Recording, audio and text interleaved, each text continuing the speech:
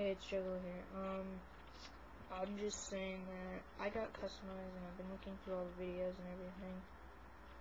And I just, I redid it. This is about the third time I've redone it. I re-jailbroke my touch. I mean, my iPhone.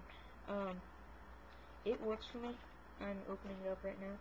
It comes up. It never asked me for my info, and I'm wondering if that's why it's not doing it. But it shows that it's getting internet right there. And everything works, but when I go into system strings, hold on.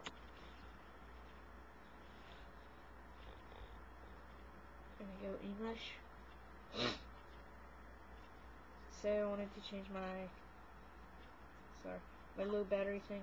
Um, yes, the problem is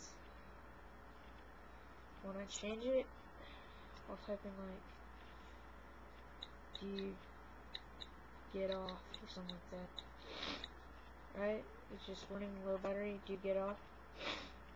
I click save, and it brings up right there. Failed to save system system files or string files.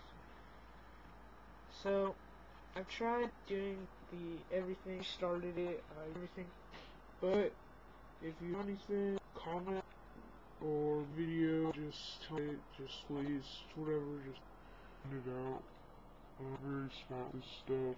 I tried once, a bunch of stuff, but it didn't work up the glue. Um, oh, so, and just comment, email me. It's, it is